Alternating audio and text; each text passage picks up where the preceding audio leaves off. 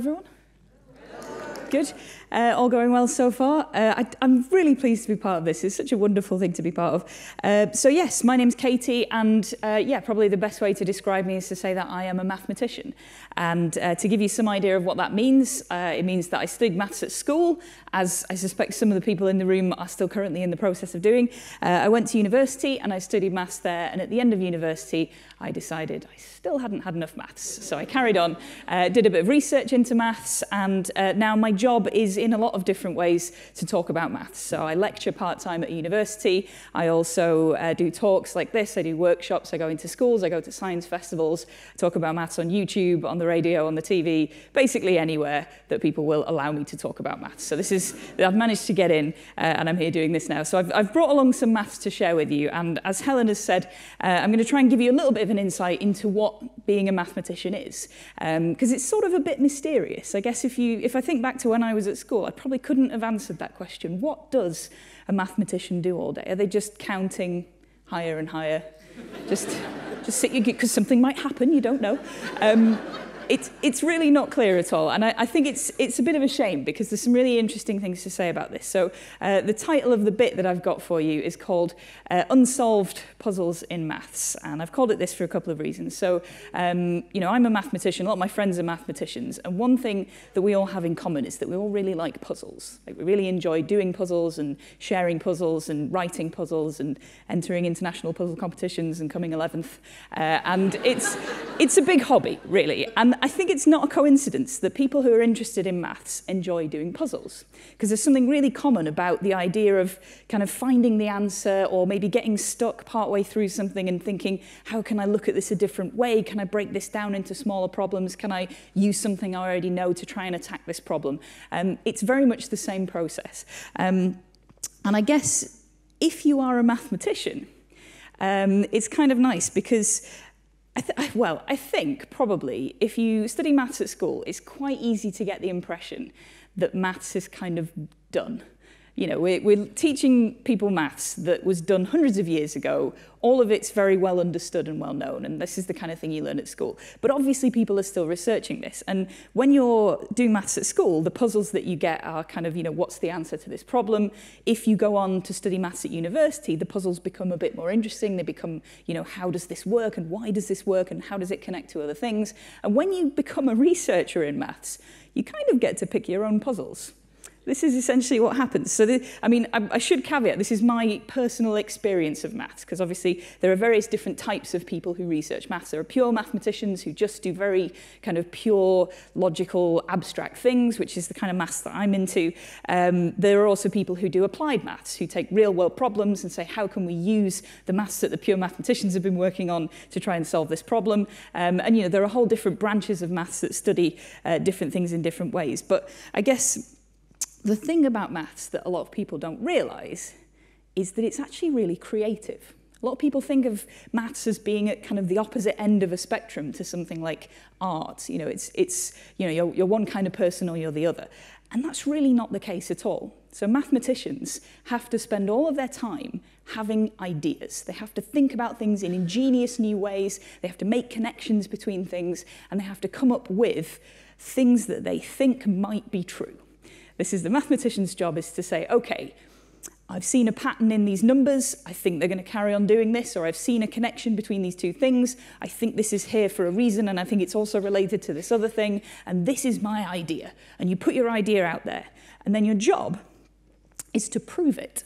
And that sounds very kind of, you know, playground, go on then, prove it.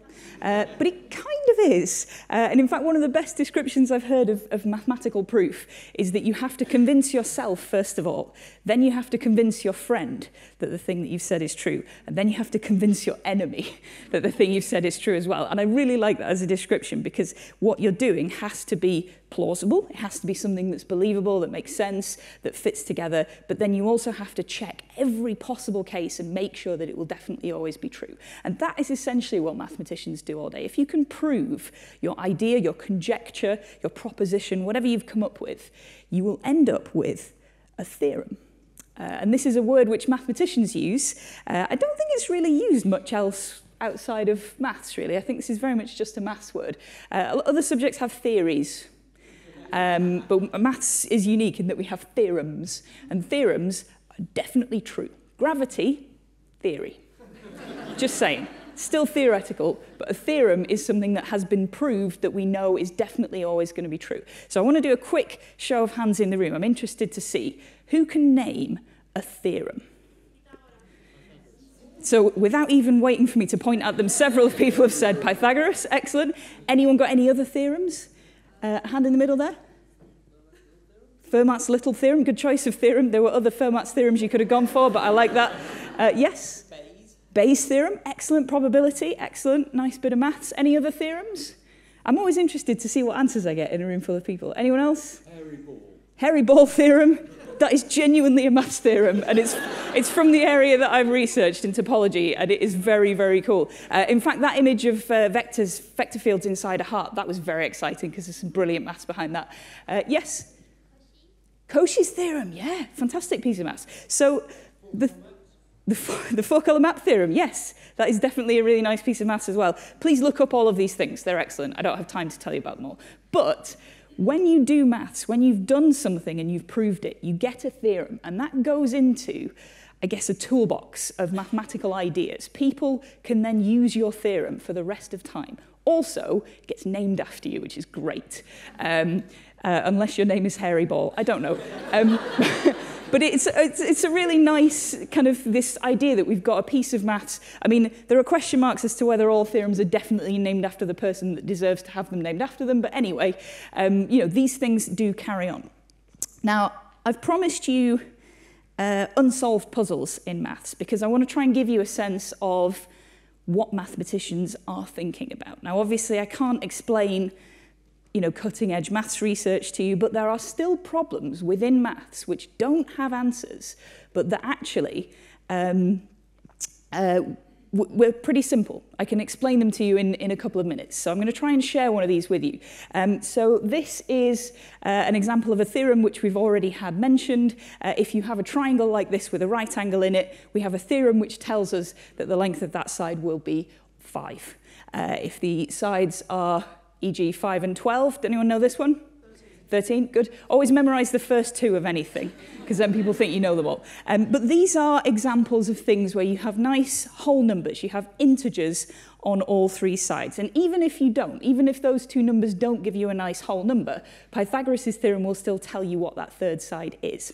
But if you're just interested in these cases, if you're just integeristed, sorry, what you can do is increase this to a slightly more difficult puzzle. So if I put these, uh, instead of being triangles, these are now rectangles. So the line that I can use uh, Pythagoras' theorem to work out is the diagonal of the rectangle. So if I now pop that rectangle up into 3D, I have a cuboid. And each of the faces of the cuboid has a diagonal. And if the sides of the uh, cuboid are A, B, and C, those three diagonals using different combinations of A, B, and C and Pythagoras' theorem, hopefully you could work out what the lengths of D, E, and F are as well. Now, if you do this, it's possible to find the sets of numbers A, B, and C such that they're all integers and D, E, and F are all integers as well. All six of these numbers are whole numbers. That's kind of nice. It's like a pleasing set of things. Um, it is possible, and if you do this, you get an object called an Euler brick. And Euler was a Swiss mathematician who has lots of things named after him. And uh, who knows whether or not this was something he actually did or just someone went, you know who's great? Euler. Um, but Euler brick uh, is the term for a cuboid where all of the edges and all the diagonals are all whole numbers. Um, and if it helps to remember this, I've got a picture of Euler and photoshopped in a brick. Does that help? I don't know. Um, but um, it's possible to do this. So if you have these three numbers for your edges, then the diagonals of this cuboid will all be whole numbers as well. And there are infinitely many of these. So as far as I'm concerned, this has now become slightly boring because there's loads of them and I don't care anymore. So I want to make it even harder. I'm going to take it up one notch further. I'm not going to go to four-dimensional uh, cuboids, but what I am going to say is that as well as all of those six numbers being whole numbers, I also want this length which is the kind of 3D diagonal through the cuboid.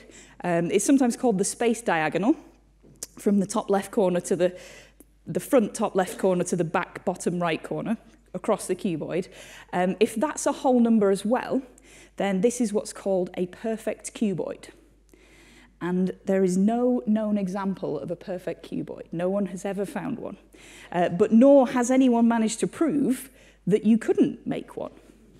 So it's, it's an open question. We don't actually know the answer. There might be such a thing as a perfect cuboid, or there might not. And it is still an open question that mathematicians are still working on, uh, which I think is, is such a fantastic thing because it's such a simple question, um, but we don't actually know the answer.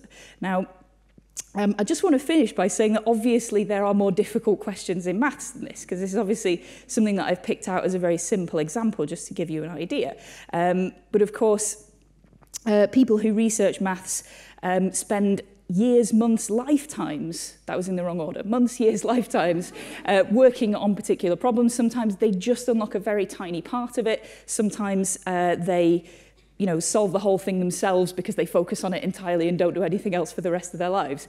Um, but it is something that if you are interested in puzzles and you're not prepared to give up until you have solved a puzzle, uh, I can recommend maths research very strongly because there are still people working on the perfect cuboid. There is a person in the Netherlands who I've been in email contact with who is still looking. They've got a computer running combinations and checking different numbers, um, but it's still an open question. So uh, I'm going to finish there, but I'll put my email address if you want to get in touch with me. If you If you have any questions, uh, please feel free to drop me a line. But thank you very much.